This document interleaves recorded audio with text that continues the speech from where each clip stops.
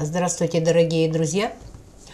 И сейчас мы, э, я вам расскажу, как зарегистрироваться в чате GPT. Для этого нам надо установить э, VPN, э, потому что с Россией чат GPT не работает без VPN. Но VPN мы не будем через расширение, управление расширениями не будем искать. А я вам дам ссылочку под видео и вы по ссылочке пройдете и установите. Так, вот ссылочка, переход, установить. Нажимаем установить. VPN скачивается в браузер, смотрим в расширениях, вот он установился, все нормально. И идем э, в наше расширение, ставим кнопочку. Так, расширение мы установили. Но видим, что он а, не работает. Он должен быть зелененьким значком таким вот. Нажимаем на расширение и здесь продолжить соединение, начать, включить. Если вам будут что-то купить или оплатить, не соглашайтесь. Внизу всегда будет, здесь вот э, подсвечено, использовать бесплатно. Э, один раз оплатите, потом все время надо платить, и еще будут проблемы, VPN перестанет работать. Все, вот зелененьким, значит VPN включился. Нажимаем на свободное место, и вот VPN включенный. Итак, продолжаем, друзья. У меня был небольшой сбой. Вот мы VPN установили, и как видите, у меня э, интернет вышибло, VPN отключился. Вот так вот его включить могу. Сейчас зато вам покажу, как включать его.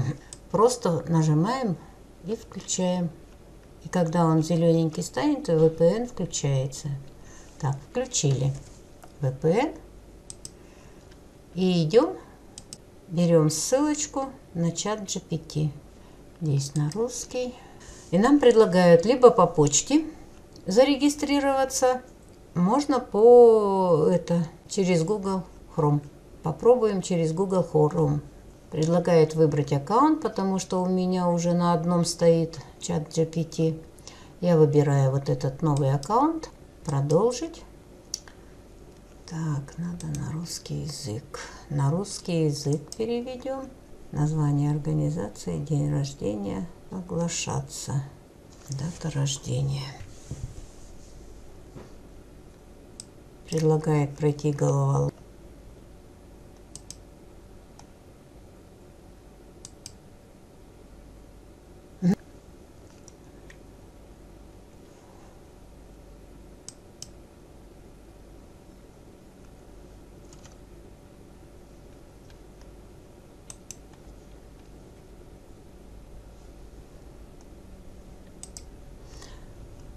Так, вот это вот бывает. Упс, произошла ошибка. И частенько он так работает. Я делаю обновление.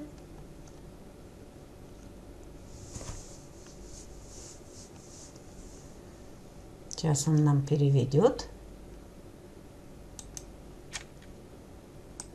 Перевести на русский.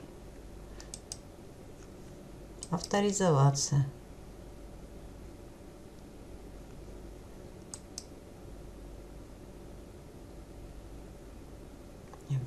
Надо было почту, наверное, ввести. Вот такие нюансы бывают. Так, все. Вот он открылся. Посмотрим, что он тут нам предлагает еще.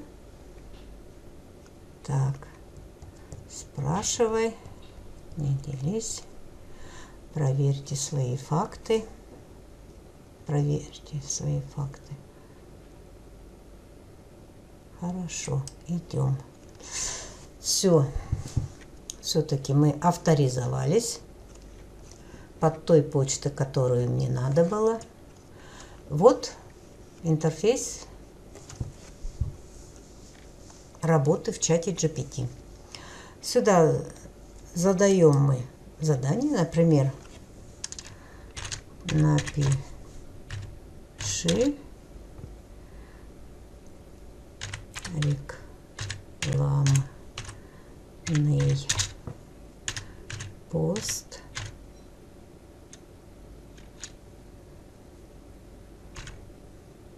для ВК.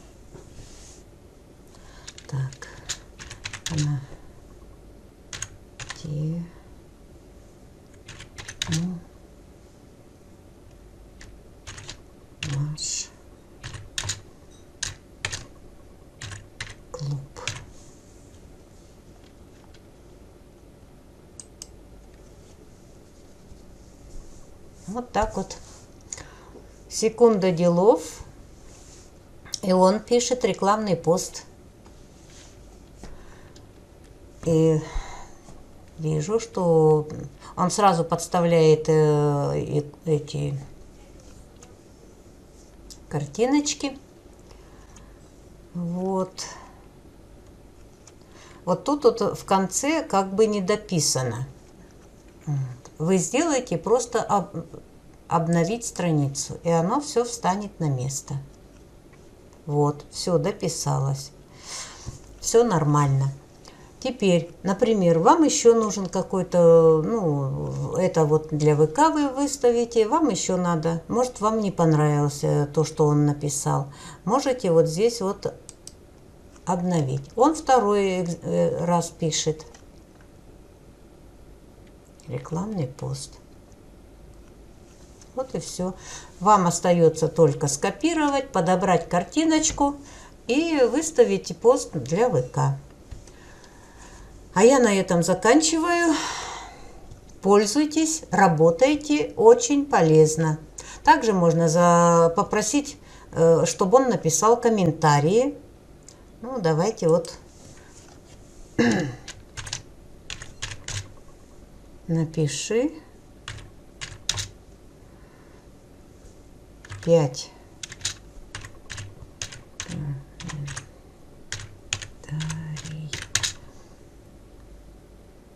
напиши 5 комментариев.